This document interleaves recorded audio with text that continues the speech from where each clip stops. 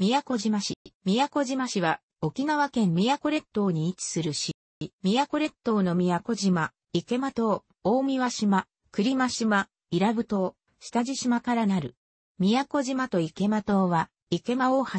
宮古島と栗間島は、栗間大橋、宮古島と伊良部島は、伊良部大橋、伊良部島と下地島は6本の橋によって結ばれている。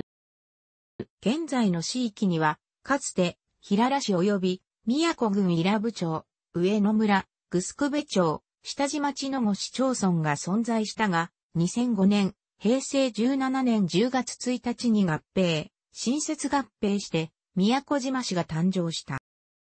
宮古島市を構成する当初と旧市町村の対応関係は以下の通り。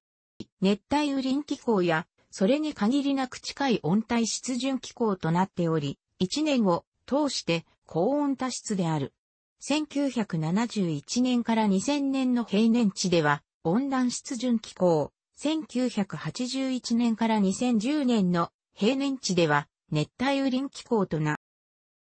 宮古島地方気象台、住所表示はいずれもあざなの前に旧市町村名がつく。あざなが旧町村名と同一の場合も同じ字、イラブ、イラブあざイラブ、あざ上の上のあざ上の。平良地域いずれも、旧市名の平良があざなの頭につく。例、あざ西里平良あざ西里。グスクベ地域いずれも、旧町名のグスクベがあざなの頭につく。例、あざ福、里グスクベあざ福、里。上の地域いずれも、旧村名の上野があざなの頭につく。例、あざ上の上のあざ上の。下地地域いずれも、旧町名の下地があざなの頭につく。例、あざ上地下地。あざ上地。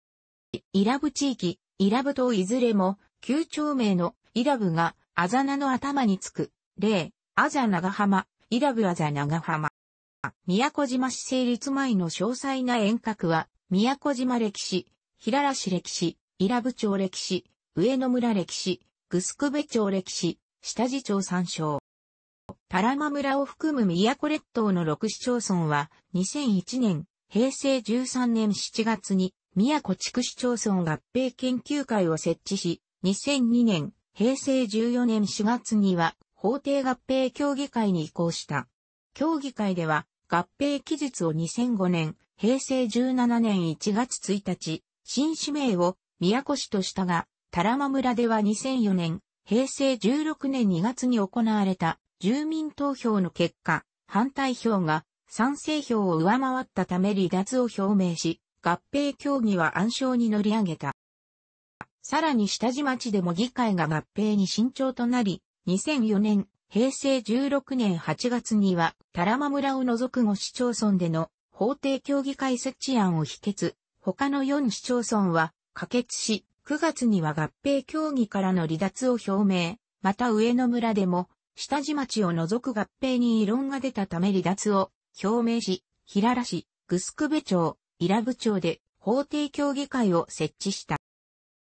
2004年、平成16年12月になり下地町と上野村が三市町の法定協議会に復帰し、五市町村での合併協議が進められ、新市名は宮古市、宮古島市、竜宮市の中から宮古市に決定した。しかし、岩手県宮古市から事前紹介がなかったとして、見直しを要請されたため、2005年、平成17年2月から3月にかけて、新市名を問う住民アンケートを実施。その結果、宮古島市が宮古市を上回ったため、最終的に宮古島市が新市名に採用された。2005年、平成17年3月15日には合併協定調印にこぎつけたが、伊良部町では直後に審議が行われた合併関連議案を否決した4市町村は可決。合併特例法の期限が迫る中、4市町村では急遽伊良部町を除く法定協議会を設置したが、3月25日に、イラブ町議会は合併関連議案を一転して、可決し、当初の予定通りの合併が実現した。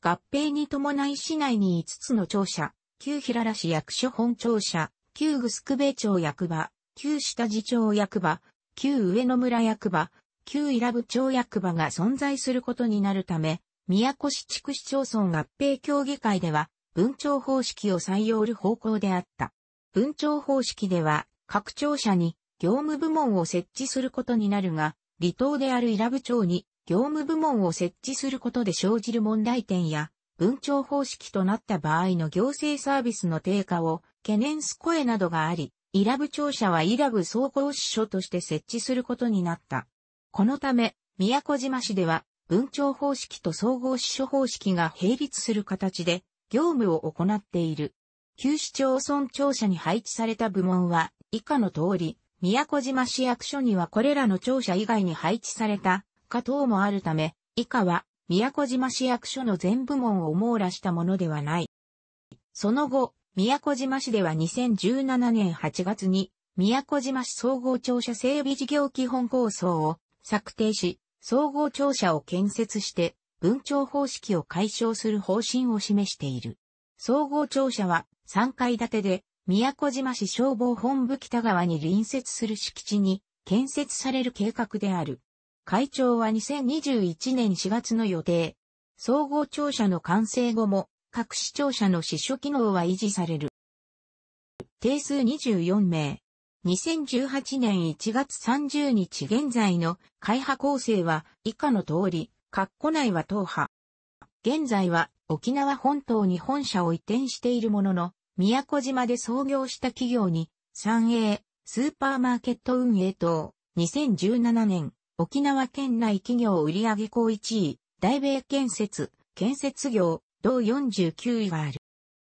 以下の4社が運行している。イラブ大橋開通を機に2015年2月1日より、宮古共営バス、8000台バス、共和バスの3社が、平良港まで路線を延長し、同一停留所での相互乗り換えが可能となった。また、期間限定で、宮古空港と市街地を結ぶ巡回乗り合いタクシー、宮古島クルリンバスも運行されている。詳細は、宮古空港交通参照。ラジオ、テレビ。郵便の集配業務は、宮古郵便局が行っており、郵便番号は以下の通りとなっている。郵便番号の右の括弧名は一元化前の受け持ち局。民営化前には、宮古島内には、宮古郵便局をはじめ、橋で結ばれている、池間島を含め5つの集配郵便局、旧市町村ごと、ただし、平良市内は、大三輪島含む宮古島と池間島に分かれるがあったが、合併により、集配業務を宮古郵便局に一元化した。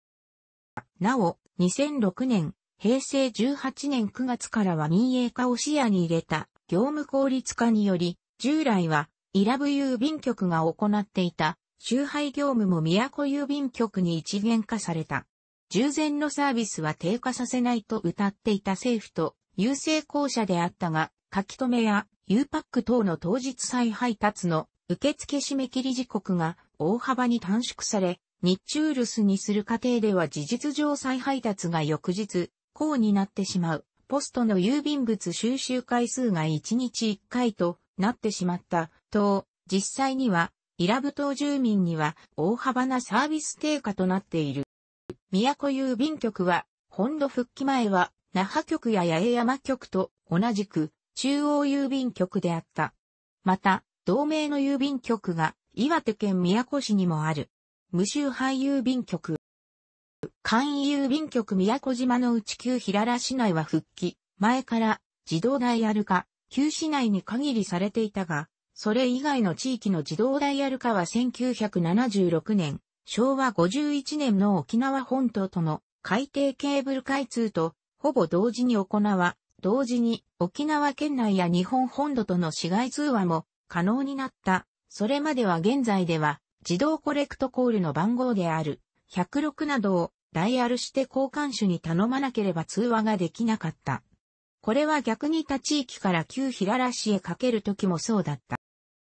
市街局番はダイヤル化当初数年間は旧平良市の宮古島内のみ09807で、池間島は09807旧下地町と旧上野村は09807旧旧グスクベ町は09807旧伊良部長は098078と別々だったが、1983年、昭和58年頃に、タラマ村、当初は098079も含め09807に統一された。さらに2002年、平成14年12月には、電話会社の新規参入で、市内局番一桁では逼迫する恐れが出てきたため、市外番を現在の0980となり、タラマ村も含む市内局番が従来の70番台に加え、60番台も使用可能になったものの、未だに60番台は使用していない。また、単位料金区域 MA はタラマ村を含め沖縄都 MA であり、